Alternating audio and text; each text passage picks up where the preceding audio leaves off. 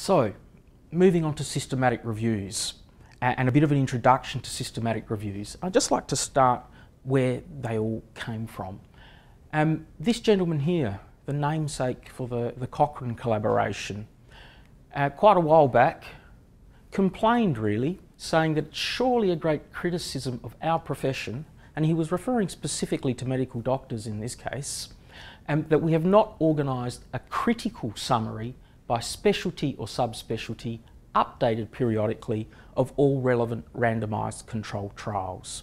Essentially, he was saying what we do in practice, we should be looking to the experimental evidence that will give us allow us to make a causal association to say if we do this, we'll see this result in practice. Because the evidence was out there, but it just hadn't been organised so they could use it. Um, at this, and that's really what spawned this whole process of systematic reviews and this research undertaking that are systematic reviews. And since that time, when they appeared in the literature, it's about 1990, um, they really have, those of you who are familiar with the content of, of uh, data, uh, the bibliographic uh, citation database such as Medline and the like, there's really been an exponential rise in the number of systematic reviews since about 1990 onwards. It is really important, I'm not going to go into too much detail today, but to appreciate that many of us are very familiar with the traditional literature reviews. A systematic review is a class or a brand of literature review, but it is quite different from a traditional literature review. I'm not going to go into any great detail, but I'm sure you'll come to realise that as I move through exactly what a systematic review is.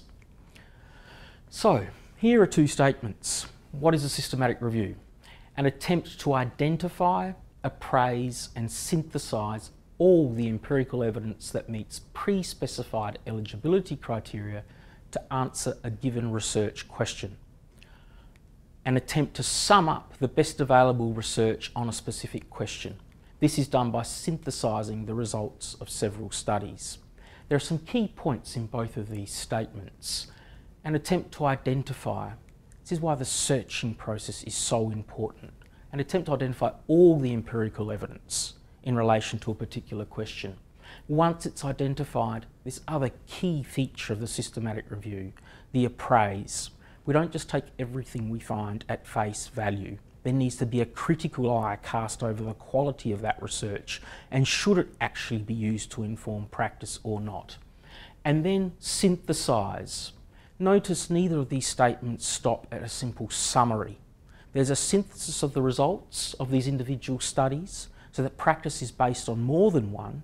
And when we talk about synthesize, if we're talking about quantitative evidence, you will have heard of the term meta-analysis, the statistical combination of evidence. Similarly, when we talk about qualitative data that might be uh, derived from uh, a phenomenological study where a, a researcher might interview or speak to a patient or a participant directly in the study, we can also synthesize that sort of evidence, and that's what we call a meta-synthesis, where textual data is combined. But with this synthesis, what's coming out the end, and why this is such an important research process, certainly has the potential to be more than simply the sum of its parts.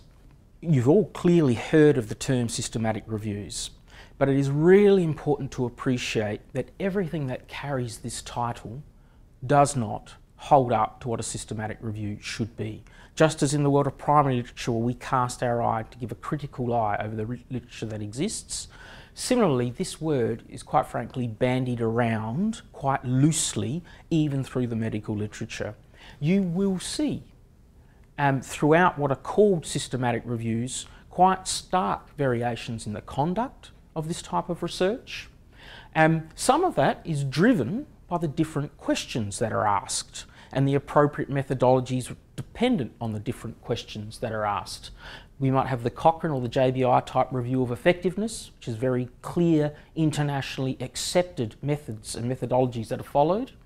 Um, the questions we talk about uh, questions of etiology of disease or harmful outcomes of interventions that are used. Well here we need different types of evidence. But then there are different methodologies for qualitative um, um, type reviews or even there are new methodologies of systematic reviews that are appearing as well. For example realist syntheses some of which not all of these different ways of doing reviews have been validated or in fact internationally accepted.